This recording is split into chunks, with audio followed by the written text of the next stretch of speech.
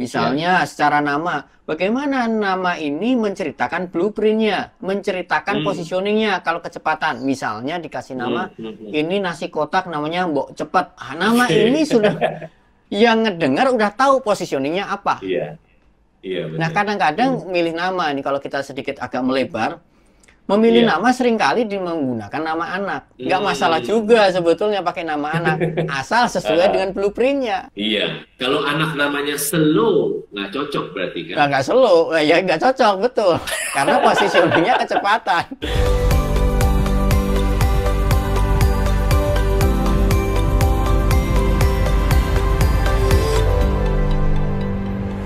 Brand adalah nama dan makna. Namun, ya, namun di sini kemudian Nama dan makna. Nakma dan makna. Kemudian dari sini muncullah pertanyaan di dalam diri saya. Makna menurut siapa? Makna menurut pencipta brand itu atau makna menurut konsumen yang melihatnya? Nah, dari situlah kemudian saya membuat sebuah metodologi yang namanya Nemawe berangkatnya dari definisi Pak Abi itu. Nama dan makna. Hmm. Hmm. Ada nih misalnya, saya ingin dikenal. Dodi Zulkifli itu adalah seorang praktisi brand. Ingin dikenalnya. Dodi Zulkifli menurut Dodi Zulkifli. Tapi kalau kita tanya Dodi Zulkifli menurut orang lain bagaimana? Misalnya kita lakukan survei kecil-kecilan. Kamu kenal nggak dengan Dodi Zulkifli? Oh kenal. Kamu kenal Dodi Zul- Zulkifli itu gimana? Seperti apa yang kamu kenal? Oh dia itu Hmm. pinter masak, jago banget masaknya. Nah, Ay, ayam tadi ya. di sini muncullah Terus? dua itu. Makna menurut siapa? Iya. Makna menurut saya Hmm. memang saya desain atau makna yang Hmm. ada di pikiran konsumen. Iya, iya, iya, iya. Nah, Hmm. mana nih yang an- yang disebut dengan brand? Apakah yang saya ciptakan ataukah yang ada di pikiran konsumen? Nah, harusnya keduanya sangat jelas. Nah, ya. Harusnya Keduanya, Mas. keduanya adalah brand. Brand yang saya buat menurut diri saya, ini yang saya sebut dengan brand blueprint. Konsep. Oke, brand blueprint. Ah, Oke. Oke. Oke. Yang ada di pikiran konsumen itu yang disebut dengan brand equity. Brand equity. Keren. Jadi equity adalah hasil yang sudah ada di pikiran konsumen. Lebih Blueprint lebih penting hanya Mas konsep. Dodi? Dua-duanya. Kalau harus milih lebih dua-duanya ya. Banyak. Oke, Oke. jadi korelasinya Hmm. apa? Seperti tadi kembali ke Zulkifli dan, dan Pepsodent. Andai Iya, kata iya, iya. saya memiliki blueprint yang sama nih, ya. Andai kata saya memiliki Hmm. blueprint yang sama persis dengan Pepsodent. Aha. Equity di konsumen kan tetap beda. Beda. Saya punya konsep ya, saya punya konsep yang sama. Andai kata nih, andai kata nih, misalnya ada marketing manajernya Pepsodent yang keluar. Kemudian saya hijack dan dia bawa konsep blueprint dari Unilever, Pepsodent dibawa ke perusahaan saya. Iya, Artinya blueprintnya sama dong, sama, betul. persis sama. Tetapi Hmm. equity-nya hasil di pikiran konsumen berbeda. Itu nggak akan bisa Beda. sama. Nah, kemudian muncul pertanyaan, equity ini bagaimana cara membangunnya? Iya, iya. Nah, betul. equity bagaimana cara membangun brand equity antara blueprint dan equity di tengah-tengahnya sini ada yang yang saya sebut dengan brand delivery. Nah, brand delivery ini apa? Proses mengkomunikasikan blueprint menjadi menjadi brand equity.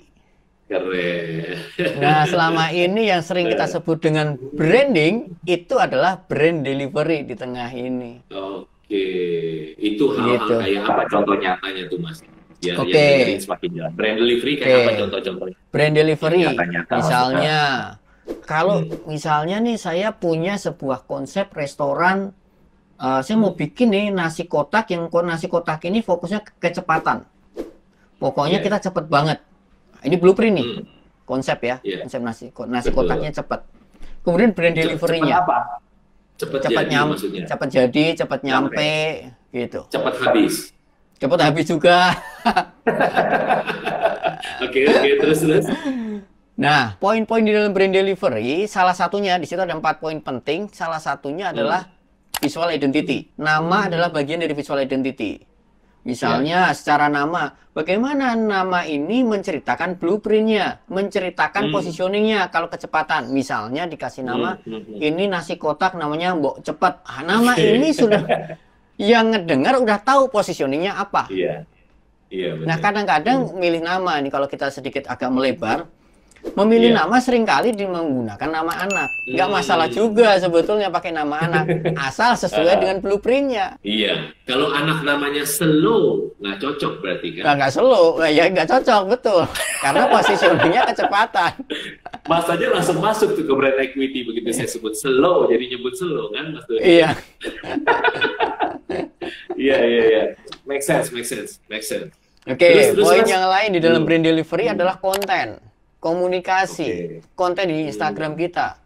Nah, konten-konten ini eh, di, di brand delivery ini ada brand delivery Ah. yang kita lakukan bisa menciptakan equity dan ada brand Hmm. delivery yang kita lakukan tetapi tidak tercipta equity.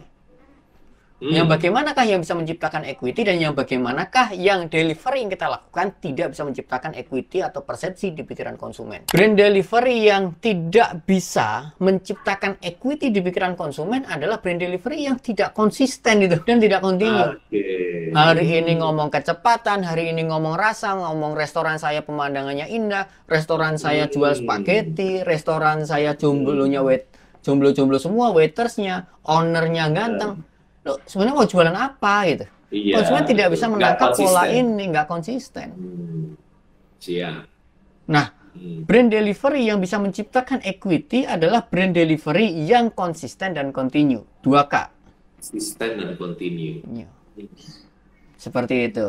Jadi ada Message-nya konsisten dan terus ngomong communication-nya kon- Betul, continue gitu ya. betul. Konsisten itu artinya Oke. sesuai dengan blueprintnya. Continue Hmm. adalah berkelanjutan.